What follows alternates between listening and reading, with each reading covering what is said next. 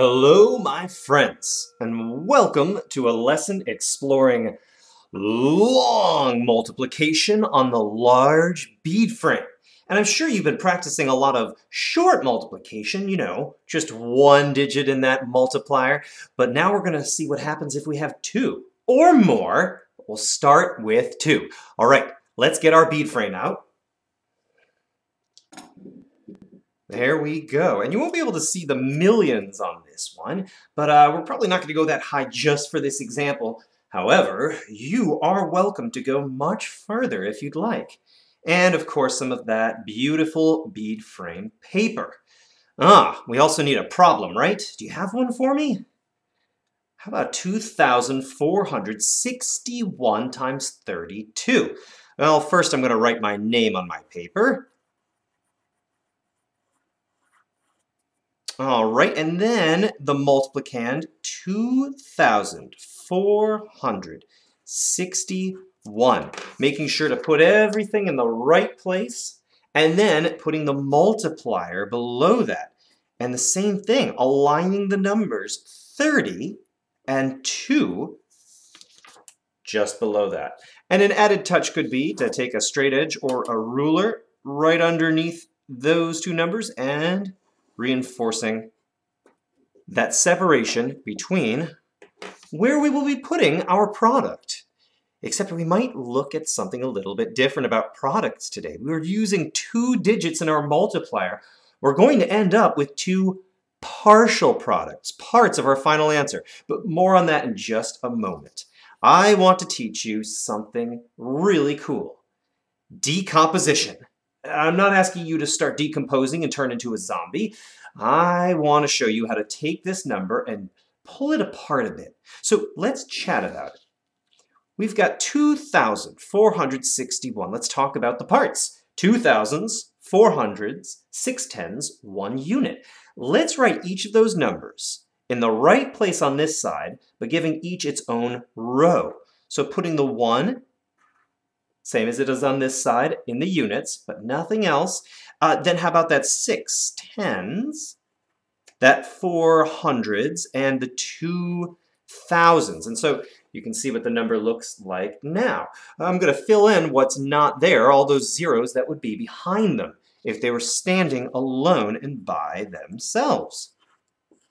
Because this is sort of what we will be doing. We are going to take 1, 60, 400, and 2,000, and we're going to multiply all of them by 2. Give yourself some kind of a bracket or a beautiful looking caret there. I'm not talking about the vegetable. So that you can write down that all of this is going to be multiplied by 2. All right, let's decompose for the next digit, but notice it's in the tens. However, it's going to be really hard to take something 30 times on this. Um, we're going to be taking things three times, but we're not going to be taking one three times in that case. Let's put that power of 10 into our multiplicand. Here's what I mean. We're going to do the same thing we just did here, but we're going to shift everything over to the next category because it's not going to be 1 times 3 then, and it's not going to be 1 times 30. We're going to do 10 times 3. Uh, let's, let's try it together. Go ahead and write your 1 on the tens wire on this side so that we know now it's a 10. That 60 is going to move over to the hundreds and become 600. The 400 will become 4,000 and the 2,000 will become, right, 20,000. Fill in all those zeros.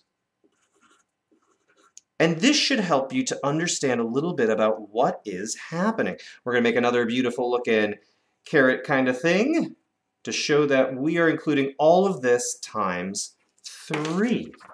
There are the two steps of our multiplication, and now we're set up and ready to actually begin.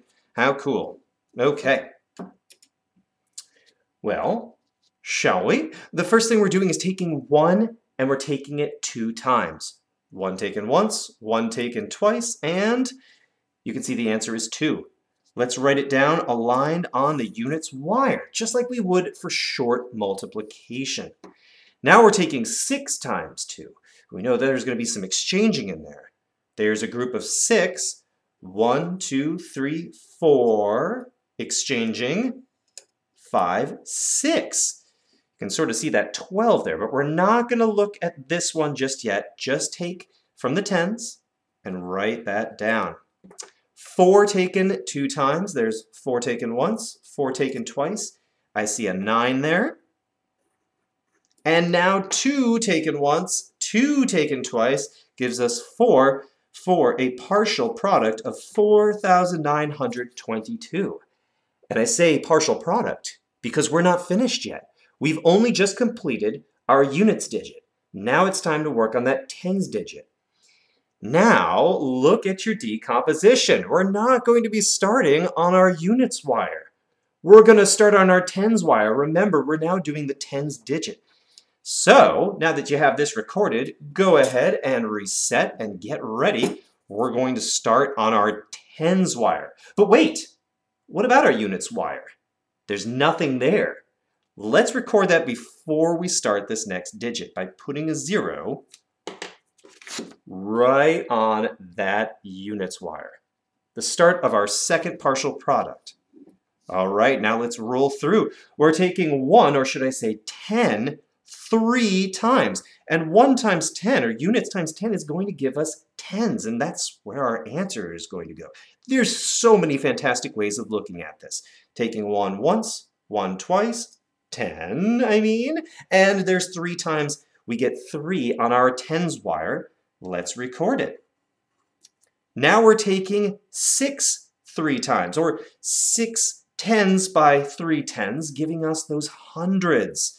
Okay, here's six once. One, two, three, four. Exchanging. Five, six. There's twice. And here is a third group of six, giving us an eight. Now we're taking four three times. There's four once, four twice. There's just one. Exchanging, two, three, four. And there's three to go on our thousands line.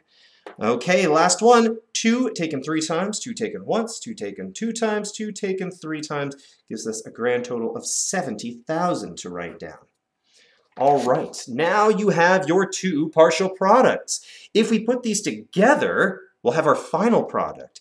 And that's as easy as adding an addition symbol, grabbing your straight edge or ruler and giving a nice little bit of separation between those partial products and your final product. And you can do this in your head. Some of these are pretty easy. But let's pretend you can't do it in your head. And for those of you whose addition skills might not be that strong yet, we have this bead frame here that we can use. So let's use it. All we have to do is put our first partial product right back on there. There's 4,922, and let's go down the line. Adding zero units gives us just two. Adding three tens gives us 50. Ooh, adding eight to this one. One, exchanging, two, three, four, five, six, seven, eight. There's seven to put in our hundreds. We're adding three to our thousands. Eight.